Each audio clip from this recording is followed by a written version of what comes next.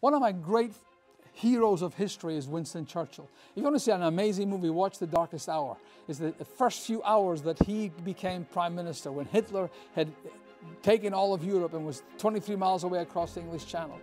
And uh, man, the things that man went through, it's unbelievable. In fact, I'm wearing my Winston Churchill glasses today. But one of his sayings was this when you're going through hell, keep on going.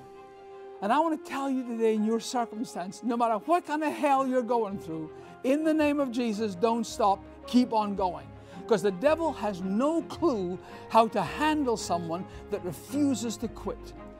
If he can discourage you, if he can get you busy, if he can get you off on the bypath meadows, that's fine.